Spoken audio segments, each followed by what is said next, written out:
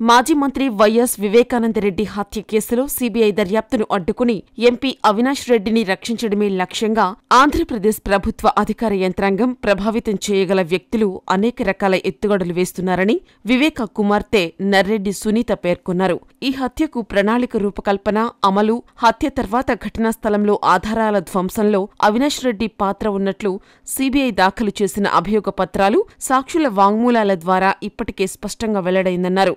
అవినాష్ రెడ్డి మాత్రం అందుకు భిన్నంగా తనపైన తన కుటుంబంపైన తీవ్రమైన నిరాధార ఆరోపణలు చేస్తున్నారని చెప్పారు. తనపై తీవ్రమైన చర్యలు తీసుకోకుండా విచారణ ప్రక్రియను ఆడియో వీడియో రికార్డు చేసేలా సీబీఐని ఆదేశించాలంటూ అవినాష్ రెడ్డి ఇటీవల తెలంగాణ హైకోర్టులో వ్యాజ్యం వేశారు. దానిలో తనను ప్రతివాదిగా చేర్చుకుని వాదనలు వినిపించే అవకాశమివ్వాలంటూ వివేక కుమార్తె సునీత తెలంగాణ హైకోర్టులో ఇంప్లీట్ పిటిషన్ అఫిడవిట్ దాఖలు చేశారు. జనవరి ఇరవై మూడున విచారణకు రమ్మంటే అవినాష్ రెడ్డిని జనవరి ఇరవై ఎనిమిదిన సిబిఐ ముందు హాజరయ్యారని దర్యాప్తును జాప్యం చేయాలనే ఇలా చేస్తున్నారని అఫిడవిట్లో ప్రస్తావించారు. సీబీఐ దర్యాప్తునకు సహకరించకుండా నిరర్ధక పిటిషన్లు వేస్తున్నారని వివరించారు. దర్యాప్తు అధికారులపైనే తప్పుడు నిరాధార ఆరోపణలు చేస్తూ దర్యాప్తును ప్రభావితం చేస్తున్నారని తెలంగాణ హైకోర్టు దృష్టికి తీసుకొచ్చారు. వివేక హత్యకు కొన్ని గంటల ముందు అంటే రెండు వేల పంతొమ్మిది మార్చి పద్నాలుగు సాయంత్రం ఆరు గంటల పద్నాలుగు నిమిషాల నుంచి ఆరు గంటల ముప్పై మూడు నిమిషాల వరకు నిందితుడైన సునీల్ యాదవ్ ఎంపీ అవినాష్ రెడ్డి ఇంట్లోనే ఉన్నారని గూగుల్ టేక్అవుట్కు కు సంబంధించిన ఫోరెన్సిక్ విశ్లేషణలో వెల్లడైందని సునీత అఫిడవిట్లో పేర్కొన్నారు. హత్యకు ముందు రోజు కూడా భాస్కర్ రెడ్డి అవినాష్ రెడ్డి ఇంటికి సునీల్ పదే పదే రాకపోకలు సాగించాడన్నారు. రెండు వేల పంతొమ్మిది మార్చి పద్నాలుగు అర్ధరాత్రి నుంచి పదిహేనవ తేదీ తెల్లవారుజాము వరకు సునీల్ యాదవ్ వారింటికి వెళ్ళినట్లు సీబీఐ దర్యాప్తులో తేలిందన్నారు.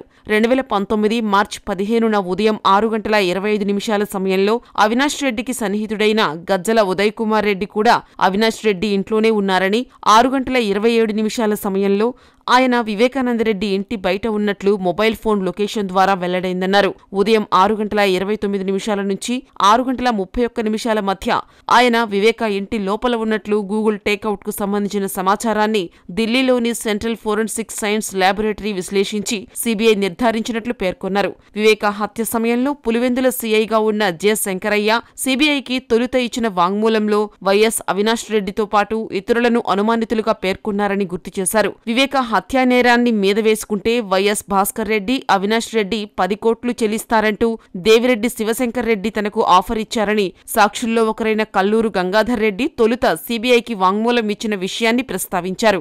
ఆ తర్వాత మెజిస్ట్రేట్ ఎదుట వాంగ్మూలం ఇమ్మంటే వీరిద్దరూ మాట మార్చేశారని చెప్పారు. సీబీఐ దర్యాప్తు అధికారి రామ్ సింగ్ వేధిస్తున్నారంటూ అవినాష్ రెడ్డికి సన్నిహితుడైన గజ్జల ఉదయ్ కుమార్ రెడ్డి ఫిర్యాదు ఇవ్వడంతో కడపలో కేసు నమోదైందన్నారు. దీనిపై రామ్ సింగ్ హైకోర్టును ఆశ్రయించాల్సి వచ్చిందన్నారు. వివేక హత్య కేసులో అనుమానితుడైన అవినాష్ రెడ్డి నిందితుడైన దేవిరెడ్డి శంకర్ రెడ్డిని కాపాడాలన్న ఉద్దేశంతో సీబీఐ తనను హింసిస్తోందంటూ ఎంవి కృష్ణారెడ్డి కడప ఎస్పీకి ఫిర్యాదు చేశారని చెప్పారు. తనపైన తన భార్యపైన ఆయన ఆరోపణలు చేశారన్నారు. అవినాష్ రెడ్డి ఆయన తండ్రి భాస్కర్ రెడ్డి దేవిరెడ్డి శివశంకర్ రెడ్డి భరత్ యాదవ్ ఓబుల్ రెడ్డి ద్వారా తనను ప్రభావితం చేయటానికి ప్రయత్నించారని నిందితుడిగా మారిన షేక్ దస్తగిరి సీబీఐకి విన్నవించిన విషయం అఫిడవిట్లో పేర్కొన్నారు. రెండు వేల పంతొమ్మిది సార్వత్రిక ఎన్నికల్లో కడప లోక్సభ నియోజకవర్గ వైకాపా టికెట్ వైఎస్ విజయమ్మ లేదా వైఎస్ షర్మిలల్లో ఒకరికి దక్కాలని వివేకానందరెడ్డి భావించారని అందుకే భాస్కర్ రెడ్డి అవినాష్ రెడ్డి ఆయనపై అసంతృప్తి మరింత పెంచుకున్నారని సునీత అఫిడవిట్లో తెలిపారు. రెండు వేల పంతొమ్మిది మార్చి పదిహేనున ఉదయం వివేక ఇంటికి వచ్చిన వైఎస్ అవినాష్ రెడ్డి రక్తపు మడుగులో ఉన్న ఆయన మృతదేహాన్ని చూశారని వివరించారు. వివేక గుండెపోటుతో చనిపోయారని వివేకాను కలవడానికి వచ్చిన స్థానిక నాయకురాలు కె. శశికళకు అవినాష్ రెడ్డి చెప్పారని నివేదించారు. ఆ తర్వాత సీఐ శంకరయ్యకు ఫోన్ చేసి గుండెపోటు రక్తపు వాంతులతో వివేకానందరెడ్డి చనిపోయారని చెప్పి బందోబస్తుకు కానిస్టేబుళ్ళను పంపించాలని కోరినట్లు పేర్కొన్నారు. సహజ మరణంగా చిత్రీకరించేందుకే ఇవన్నీ చేశారని అఫిడవిట్లో స్పష్టం చేశారు.